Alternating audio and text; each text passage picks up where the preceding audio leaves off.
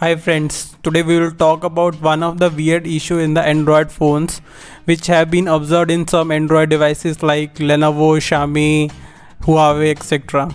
The issue is like if you have set screen off timer as 30 seconds as you can see and even then the screen never turns off hence consuming your battery.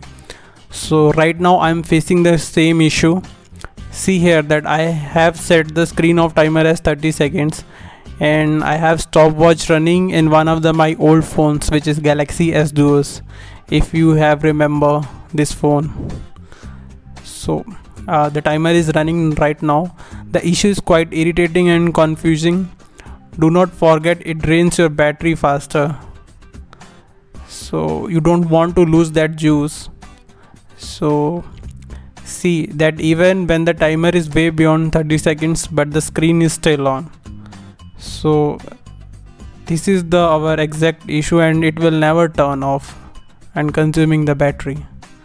The reason for this is a bug in the android os which turns the screen on if you multiple times switch off and on electric supply while charging the phone.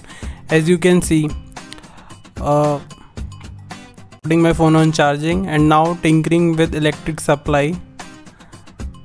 Okay as you can see i'm switching off and on multiple times. Okay so I have done that.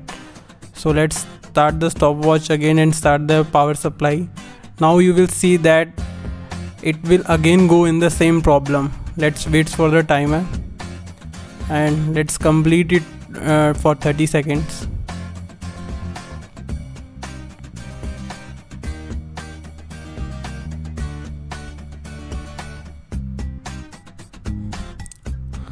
so as you can see it has completed 30 seconds and the screen is still on.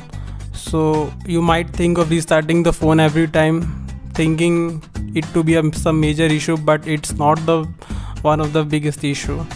So to get rid of this problem uh, I suggest you one solution but it is not the exact solution but as a workaround for this you can do this.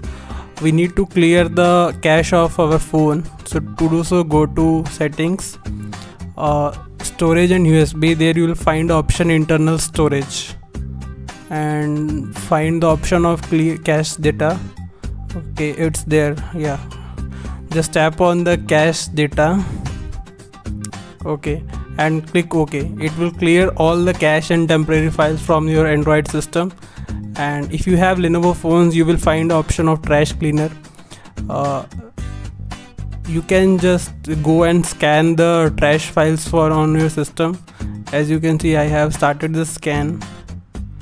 So it is just uh, right now scanning my system. Okay.